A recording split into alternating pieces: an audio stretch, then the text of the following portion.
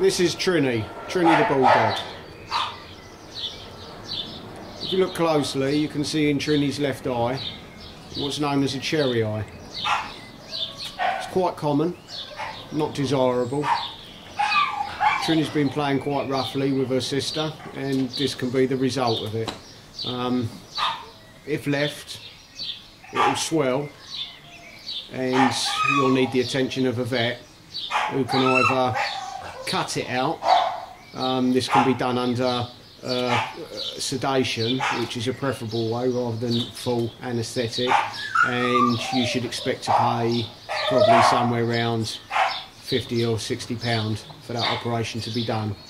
Some people uh, are led to believe that you can stitch it back in. I believe this is one of the procedures, but it, it does seem to be a little bit haphazard and, and it may involve having to have it done again and then ultimately um, being cut out anyway. Another method is trying to pop it back in yourself, which is what we're going to demonstrate here. Um, how old's Trini Maria?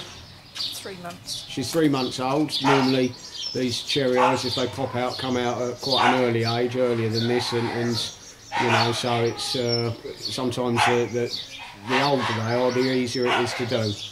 Now, what we're going to do is Maria's going to put her thumb just in the corner of Puppy's eye, and she's going to roll the bottom eyelid over the cherry, and then she's just going to mas- massage it gently back into the corner uh, uh, of Trini's eye. So she's going to roll the bottom eyelid over with the tip of her thumb, and she's just gently going to rub, massage it down into the corner of her eye, and you should find that this will um, make Cherry pop away.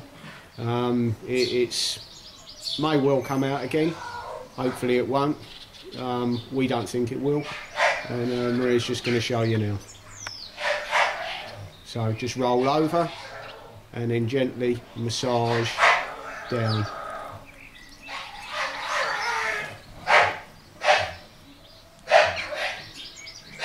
There we go. Cherry gone.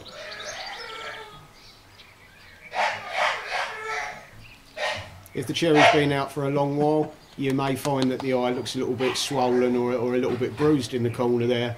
And um, it, you know that that shall settle down after puppy's had a had a little sleep. So there you go. Trini's not going to the vet today. No surgery. Uh, and like I say, some of the sometimes a lot of fuss about nothing.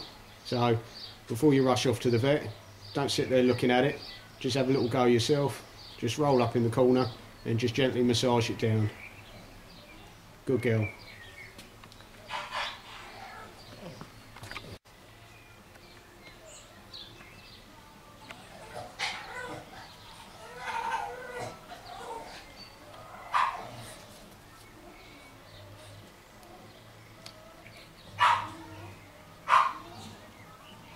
You'll be getting another cherry eye in a minute.